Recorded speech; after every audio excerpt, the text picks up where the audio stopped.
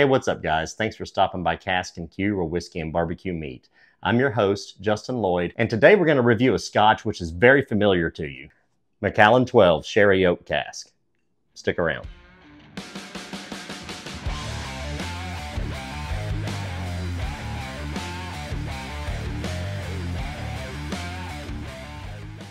So, Macallan. I don't think there's a brand of scotch out there that receives as much love and as much hate as this brand does. Does it warrant the hate? Does it warrant the love?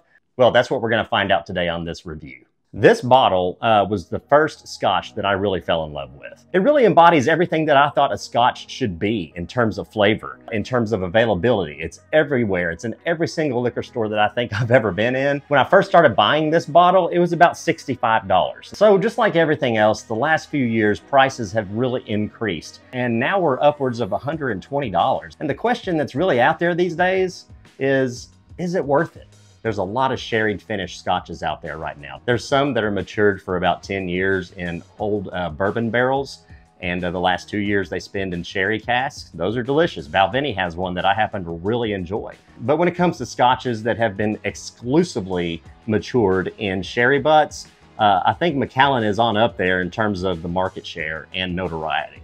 Now, a lot of fans of Macallan will tell you that uh, the new make of Macallan 12 is not nearly as good as what it used to be. I can't really speak to that, but uh, if you happen to have experience in the, in the old make and the new make, then please comment below and let me know what your thoughts are on the new make versus the old make. So let's give this a pour, put it through its paces, and see what we think.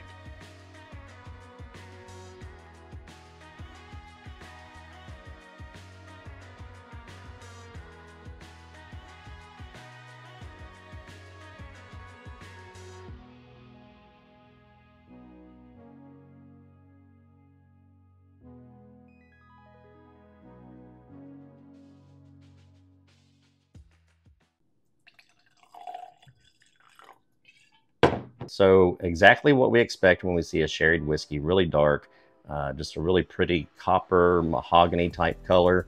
Uh, seems to have a lot of uh, legs to it, uh, meaning that, you know, you can see the viscosity, you can see the legs dripping down there in the glass, really slow.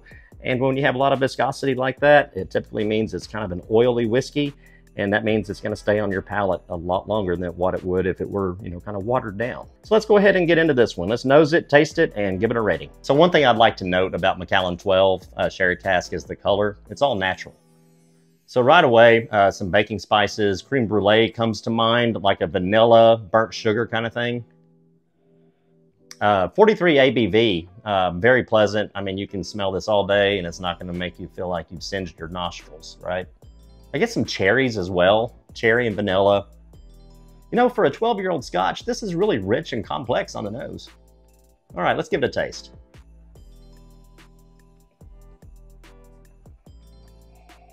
Hmm.